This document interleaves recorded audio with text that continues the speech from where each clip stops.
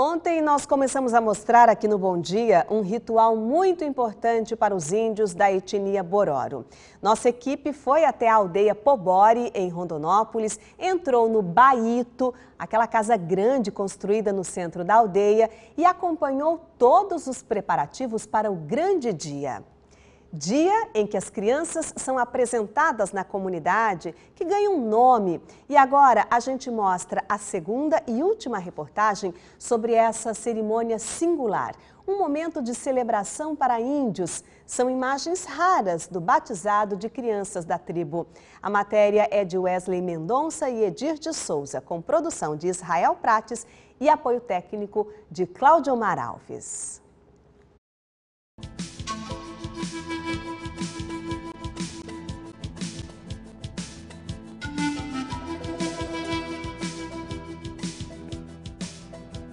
Chegando a hora da cerimônia, as crianças se pintam com urucum.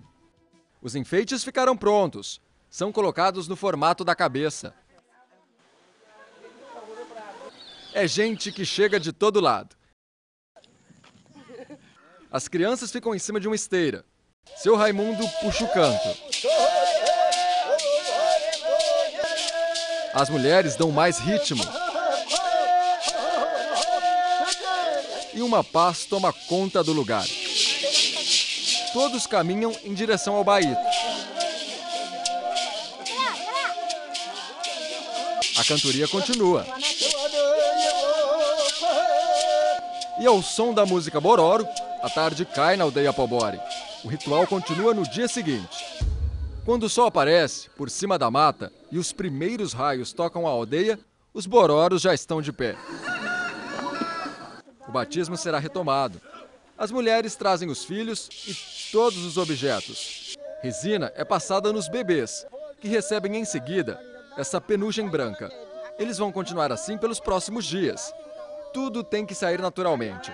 Os bororos acreditam que quanto mais as penas permanecerem no corpo da criança, mais tempo ela terá de vida.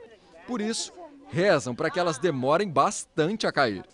Os padrinhos são escolhidos pela mãe, como manda a tradição. A criança vai ganhar uma nova família. Quem recebe mais a criança é mulher. Ah. O homem não, não pertence. Entrega para a mãe, pertence no clã da mãe. A música está de volta a Pobore. Seu Raimundo canta o nome das crianças que vão ser escolhidos pelos padrinhos.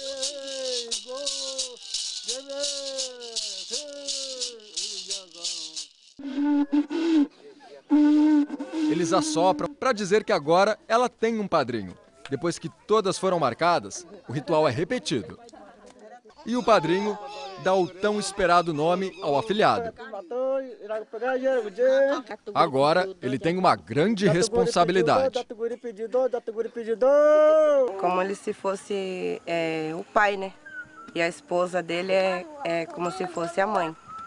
Aí no caso, assim, se for no caso de acontecer alguma coisa comigo, mas ele, é ele tem uma responsabilidade por eles. E sabe outra curiosidade? É que a criança nasce sem nome até o ritual do Iriri.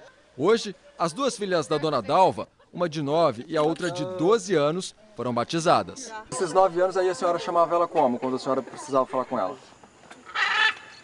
Chamava ela de Ara. Que significa? É uma filha menina, né? Michele não é indígena, mas hoje passou a se chamar Torogu Mureudo e ganhou uma família Bororo. Depois de 10 anos como professora na aldeia, não vê mais diferença na cor da pele entre eles. Tem uma convivência amigável, companheirismo e o que eles precisam a gente providencia e eles também é assim com a gente. O batizado termina e todos se pintam. É hora de comemorar com festa e celebrar também a conquista de manter a história indígena.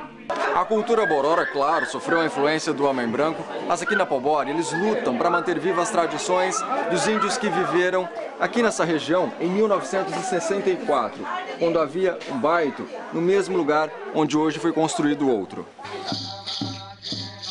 Desde pequeno que foi criado assim. Nunca acaba. E parece que nunca acaba a felicidade dos bororos. De volta ao centro da aldeia, as moças mostram que sabem dançar.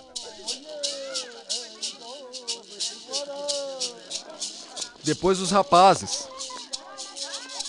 E todos juntos. Depois de espalhar a alegria pela aldeia, a festa continua, dentro do Baíto, com um banquete de comidas típicas. É a celebração da partilha. As famílias trazem o que produziram para dividir com os outros. Quase tudo feito à base de mandioca e castanha de babaçu. É um festival de sabores da natureza para criançada se empanturrar. Eles aprendem desde pequenos que o segredo da felicidade está em uma palavra: gratidão. Lá na rua para você. Muito obrigado, disse o pequeno Bororo.